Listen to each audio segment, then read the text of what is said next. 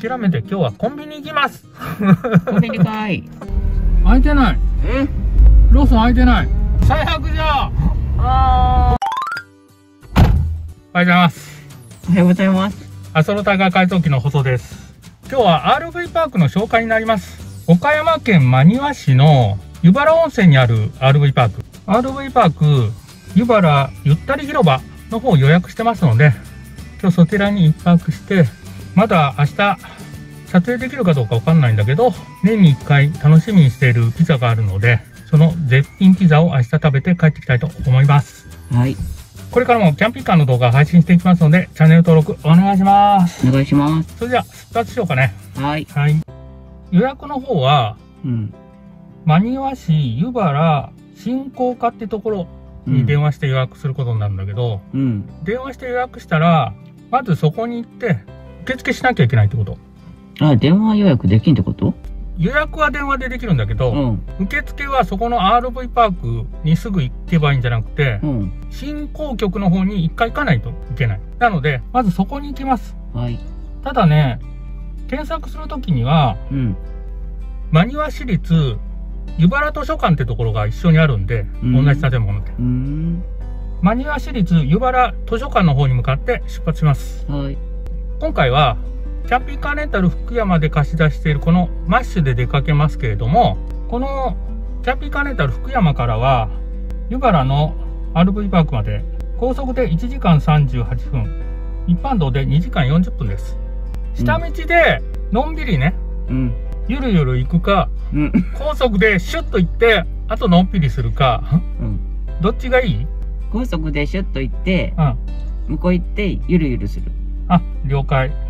じゃあ、高速で行くね。難しいね。シートベルトしたね。はい。じゃあ出発します。はい。出発したら、えっ、と、ちょっと前向けてね。うん。カードが挿入されていませんって言ったね、今。バックしまーす。高速で行くんよね。うん。今日あったかいね。あったかいよ、今日は。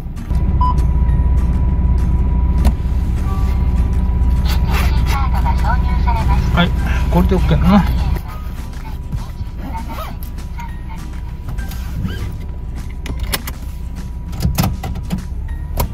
はい、再出発します。はい。よし、行きます。はい。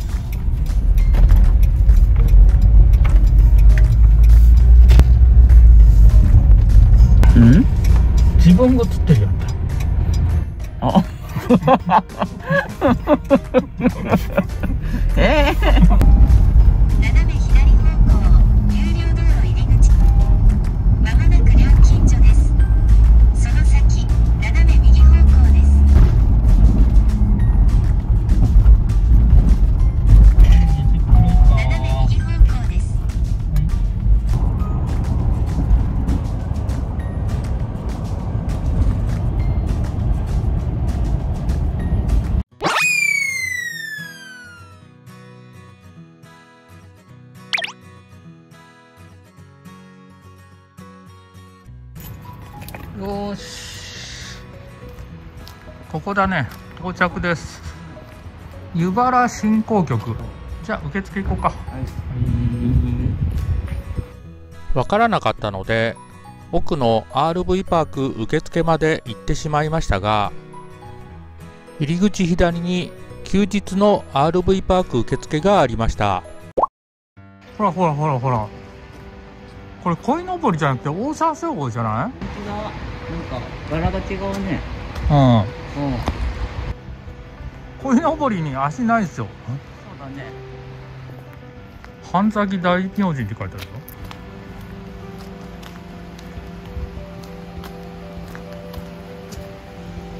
毎年8月8日に半崎祭りがあるんだって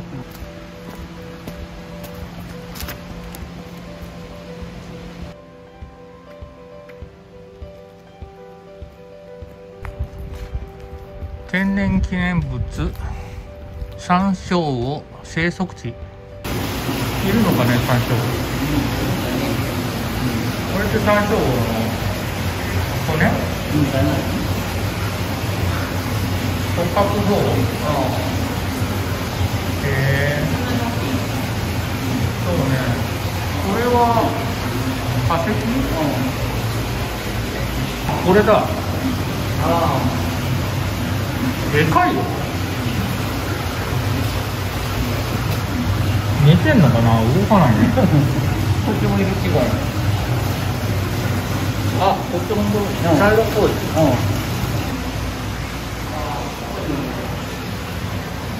寝てんのかな？全然目開けないね。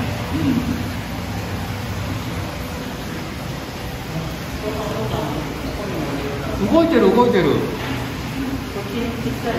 見て見て動いてる動いてる。あ本当だ動いてる。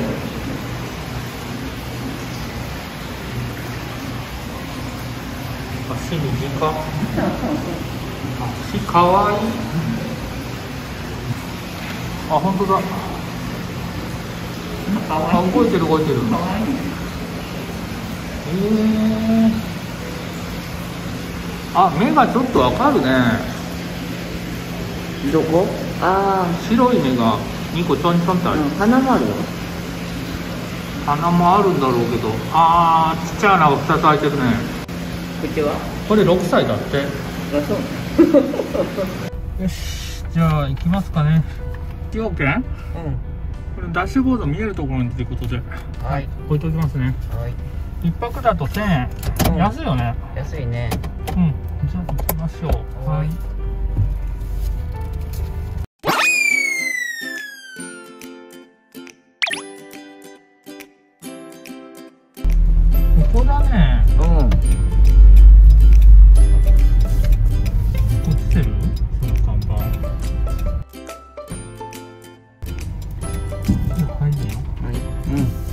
はい1番だから向こう行くね。うんはい。うん。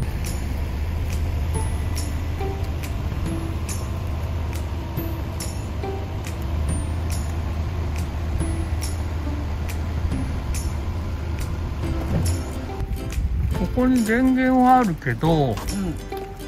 60分100円なのね。だから充電とかじゃなくてうん。例えば中でうん。ホットプレート使う時にだけとかじゃない？これ、うんうんでここに自販機もあるわ。多少飲み物も買えるし、RV パーク使用者専用のゴミ箱になってるから。これ鍵閉まってる？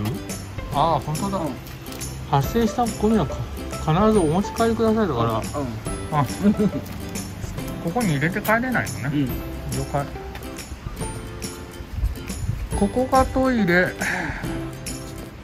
右側が男性左側に女性のトイレもありますね。あそこじゃないかな。足湯ちょっと行ってみる。じゃあ足湯があるみたいなんでちょっと行ってみましょう。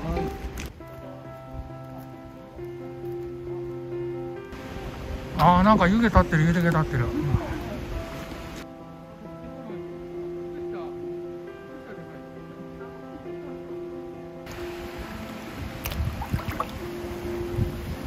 ああ気持ちいいよ。濡れるで。あったか。ああ気持ちいいね。うん。うん。足温まりましたね。うん。そこに看板があるからえー、っと。今どこだ？あ今ここだね。ここの橋の手前だね。うんうん。橋渡って左に行くとうんずーっと行くとここに砂湯っていううん。天然温泉。うん24時間でう無料の天然風呂なんだけどえー、無料の？無料なんだけど上から丸見えなのよ。なのでどうだそれ？いやあのー男性はまあタオルでちゃんと隠して。で女性はうん。うん湯着っていうのかな温泉に入れるん服借りれるからへえうんこうずーっと来てダムがあるからダムの下はい足湯温まったところで温泉に行きましょはい。うはい下湯原温泉だったかなうん。湯の駅ひまわり館ってところがあるんだけどうん。そこにひまわりの湯って露天風呂があるところがあってうん。内風呂はないんだけどうん。500円で入れるんでうん。そこ行ってみたいと思いますはい。はい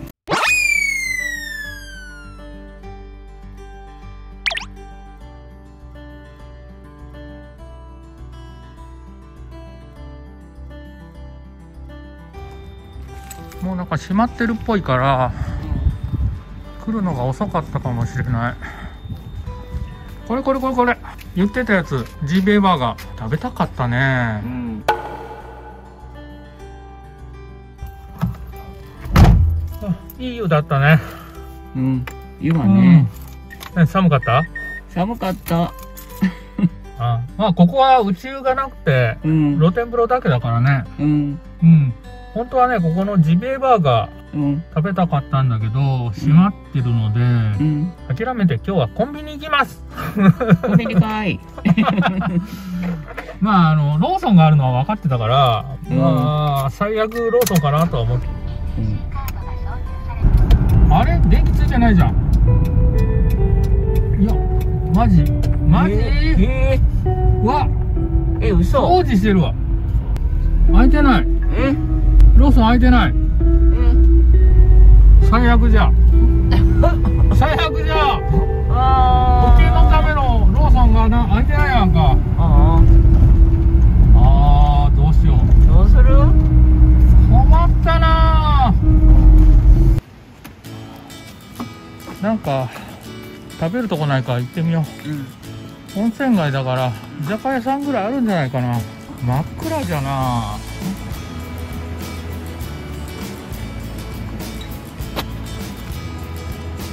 なんか暗そうだな。開いてる？怪しいな。あそこ提灯がある。そうじゃろ？父さんも今気づいたんよ。なんか希望が。うん希望が見えてきた。あれちょっと読めないけど居酒屋って書いてないかなあなんか明るくなってきたな。ちょっと希望が見えてきたぞ。開いてるかもしれないよ。あのれん開いて下がってるよ下がってる。あよしちょっと行ってみようよはーい。はい。じゃあとりあえず乾杯しましょう。乾乾杯。杯よかったねうん開いてて。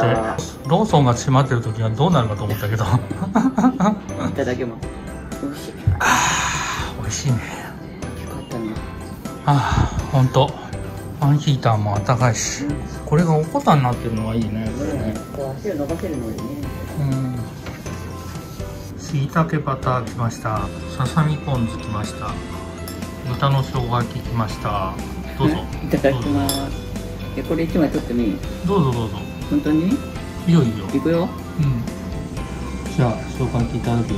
い、どうぞ。うわ肉厚美味しいよ。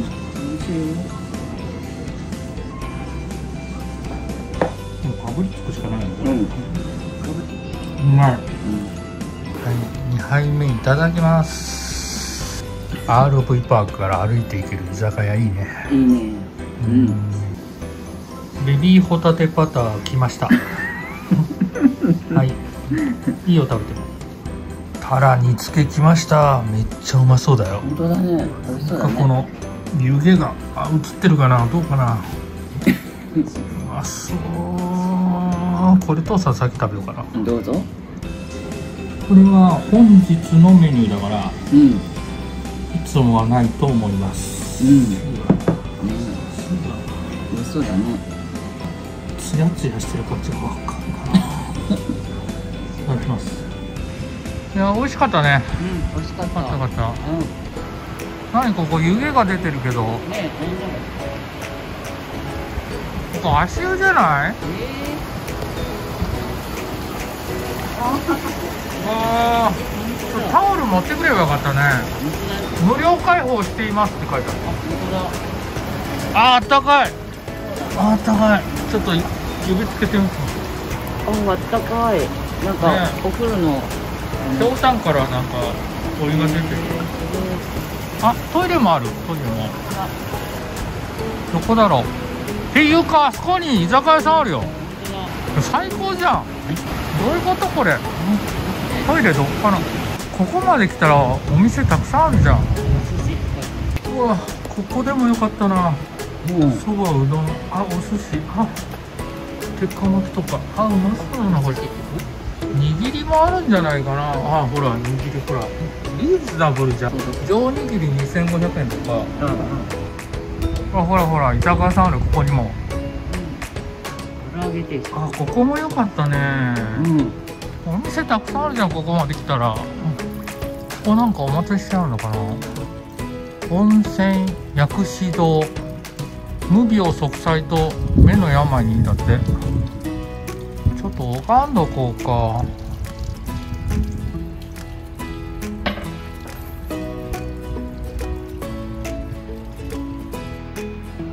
ここが元湯なんだね。う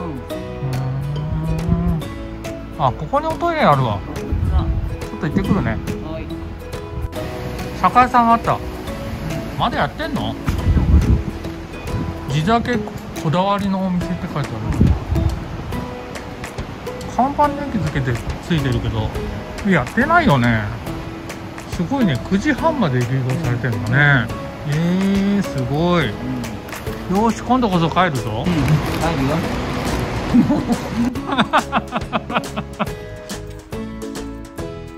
よし帰ってきました。ああ出る出る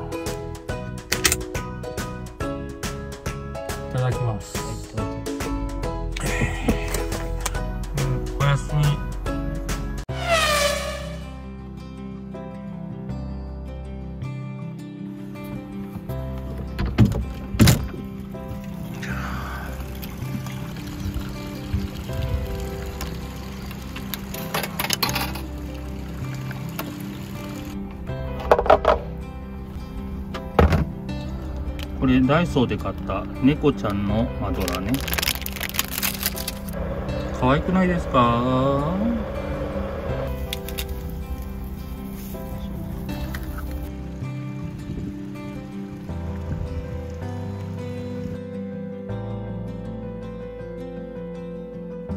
はい。昨晩はこちらの RV パーク湯原ゆったり広場を利用させていただきました。はい。こちらの RV パークは1泊1000円と安いんですけれども、ゴミの処分ができるわけでもありませんし、キャンプ行為ができるわけでもありませんので、本当に泊まれる駐車場になります。はいその代わり電源が使用可能です。ただし、こちらの電源、よくある500円で使い放題ではなくて、1時間100円になります。はいなので、1時間超えると切れちゃうんだよね。はい朝、ホットプレートで朝食を作ってる時も、ちょうど切れちゃったので、はい100円足さないと続けて調理ができませんでした。はいですが、もう使わないんですが、もうちょっと残ってるんですよね。なんかちょっともったいない気がしますね。はい特に夏場、エアコンを朝まで使おうと思ったら、700円、800円必要なので、高になるかなと思います。はいただし、こちらの RV パーク、ば RV パークに、まあ、トイレがついてるのは普通なんですけど、足湯があるんだよね。はい季節によって使用時間が異なりますが、足湯を利用することもできますし、歩いて行ける距離に居酒屋もあっていいですね。はい昨晩は、本当は、ひまわり館のジビエバーガーを食べようと思ってたんですが、間に合わなくて食べれなくて、保険のために調べてたローソンも閉まってたんで、うん。配送中だったのかな。うんなので、どうしようかと思ったんですが、歩いて行ったらちょうど居酒屋さんがあったのでね、うん。よかったです。もう少し歩いたら居酒屋さんもう一軒あったし、うん。お寿司屋さんもあって、上握りが2000円台だったかな。うんうどんやそばのメニューもあってリーズナブルなお寿司屋さんだったので、うん。そちらもいいかと思います。うん近くには日帰り温泉もございますので、RV パークを利用し、日帰り温泉、そして居酒屋さんやお寿司屋さんで夕食を取られるのもいいかと思います。はいこちらの RV パーク以外に、昨日お風呂で利用させてもらったひまわり館の方に、RV パークではなくて、RV パーキングっていうのが昨年の2022年10月にオープンされたみたいです。撮影の許可が取れたら、そちらもご案内させていただきたいと思います。今回の動画は以上になります。いつもいいねとコメントありがとうございます。ありがとうございます。これからも頑張って動画配信していきますので、チャンネル登録お願いします。お願いします。最後までご視聴いただきありがとうございまありがとうございました。ちなみに昨日のひまわり館で食べようと思ってたジビエバーガー、土日限定なので、今日の月曜日は食べれません。いい